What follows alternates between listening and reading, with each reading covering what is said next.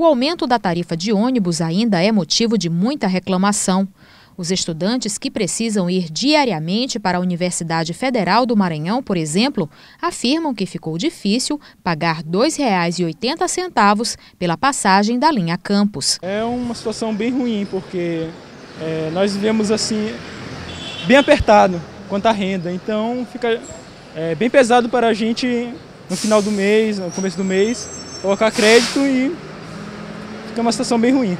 Hoje, uma ação realizada pelo PROCON, em parceria com a Agência Estadual de Trânsito e Mobilidade Urbana, fez um levantamento do perfil dos ônibus que passam pelos terminais de integração de São Luís.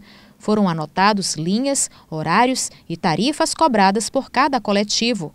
Os ônibus semi-urbanos também estão na mira da fiscalização. De acordo com a Agência Estadual de Trânsito e Mobilidade Urbana, os empresários que possuem frota de ônibus que fazem linhas semi-urbanas protocolaram hoje um pedido para revisão tarifária. Agora, a agência quer evitar que aconteçam irregularidades, como a diminuição da frota dos semi-urbanos. Além disso, o órgão está verificando se o reajuste de valores também já foi feito nessas linhas. E verificando se também não houve redução de frota, né, da frota programada e também houve denúncias que chegaram até nós em relação a isso aí.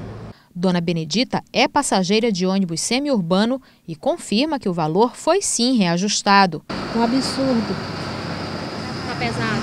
Tá, bastante.